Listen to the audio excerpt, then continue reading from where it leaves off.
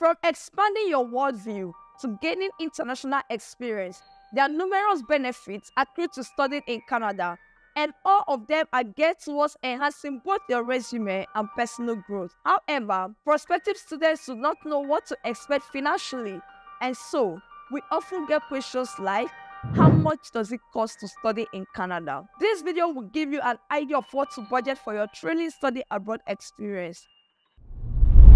Hello, welcome to your favorite YouTube channel, Canada Migrate.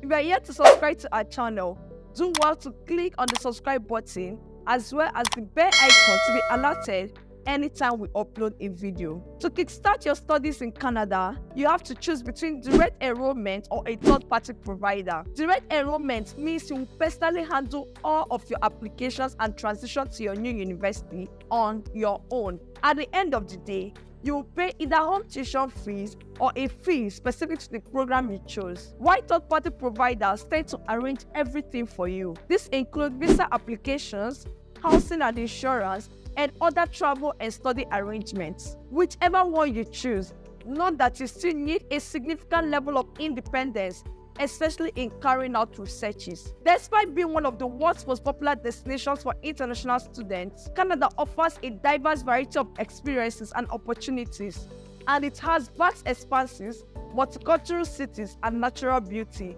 The tuition fees are generally less expensive than in other Anglophone destinations like the US, UK, and Australia.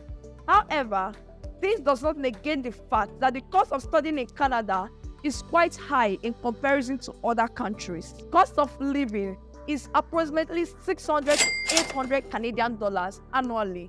Undergraduate school fees is a minimum of 20,000 to 35,000 Canadian dollars. Postgraduate fees is a minimum of 10,000 Canadian dollars study permit cost 150 Canadian dollars. There are other factors that affect the cost of your study in Canada, and they are housing and utilities, local transportation, food and drink, clothes and other supplies, entertainment, books and materials, passport and visa costs, and so on. Guys, this is where we'll call it a wrap for today. Please bear in mind that exchange rates can also change and this could affect your ability to pay your fees. Don't forget to subscribe to our channel by clicking on the subscribe button below and the bell icon to be notified whenever we publish a video. See you next time and bye for now.